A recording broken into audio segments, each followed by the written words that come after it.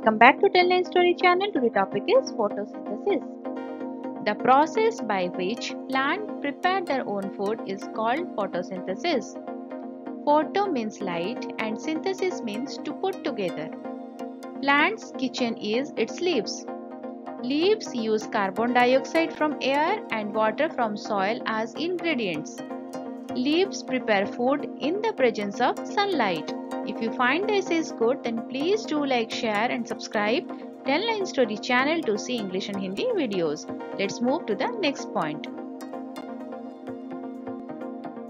Chlorophyll present in leaves help to prepare food. The food is prepared in the form of glucose, which is a kind of sugar. Oxygen is released during the process. The glucose is taken to all parts of the plants by the stem. Plants use the food for their growth. So keep watching 10 Line Story channel. See you next video. Till then, bye bye. Take care.